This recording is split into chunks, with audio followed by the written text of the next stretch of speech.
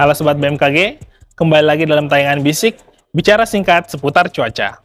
Berikut perakiraan cuaca transportasi darat untuk esok hari.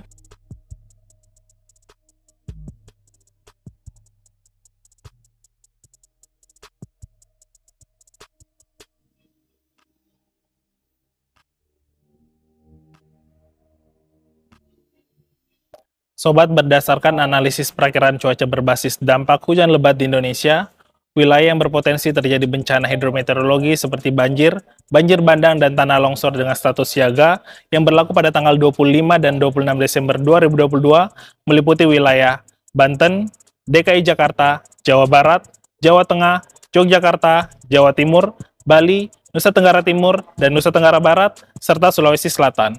Sedangkan untuk tanggal 27 Desember 2022, wilayah dengan status siaga meliputi wilayah Jawa Barat, Banten, Jawa Tengah, Jawa Timur, Nusa Tenggara Barat, dan Nusa Tenggara Timur.